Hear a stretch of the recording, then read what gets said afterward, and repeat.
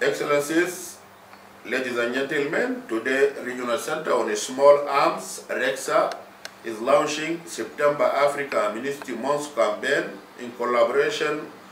with the African Union, the United Nations Office for Disarmament and and with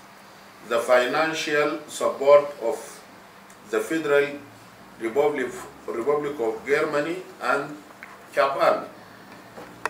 The September Africa Amnesty Month was declared in the year 2017 by the African Union within the framework of Silencing the Gun by 2020 initiative and adopted by the African member states. In this year, the United Nations Office of Disarmament Affairs UNODA enjoying, enjoying partnership with the African Union led support African member states, namely Burkina Faso, Democratic Republic of Congo, Central African Republic, Cameroon, Cote d'Ivoire, Ethiopia, and Kenya, after the expression of interest to implement Africa Amnesty Month campaign. The Regional Center of Small Arm Allied Tribal RECSA is the implementer partner of this campaign. Despite the pandemic of coronavirus crisis, that has affected and paralyzed the entire planet, this country will conduct effective awareness campaign for voluntary surrender of weapons held by civilian and for a proper management of weapons and ammunition as well as collection and destruction of illicit small arms. The objective of these activities in the seven countries is to reduce the illicit possession of small arms and light weapons and their ammunition, reduce the level of armed violence, and to strengthen the capacity for voluntary surrender of weapons.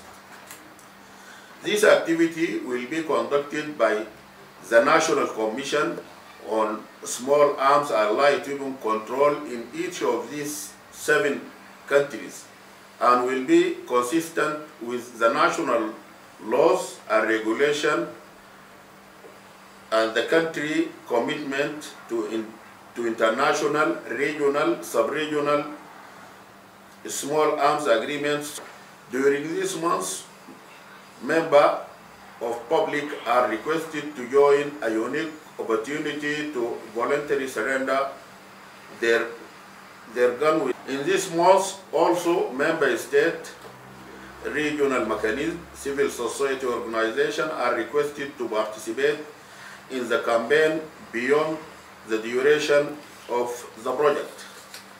Furthermore, I invite all countries through their respective national commission to place a special emphasis on the massive participation of women in various activities by integrating them in sensitization, media program, as well as capacity building workshop that will be organized for the benefit of member, members of the defense and security forces with the aim to highlight negative consequences of illicit possession and misuse of firearms on young population in both rural and urban areas. On behalf of RECSA, I would like to reiterate our commitment to full support of the September 2020 Africa Amnesty Month campaign. Finally, I want to express my sincere gratitude to the Federal Republic of Germany and Japan for the financial financial support through UNODA and the African countries that demonstrated interest of implementing the September 2020 Africa Amnesty Month activities. Also, I assure you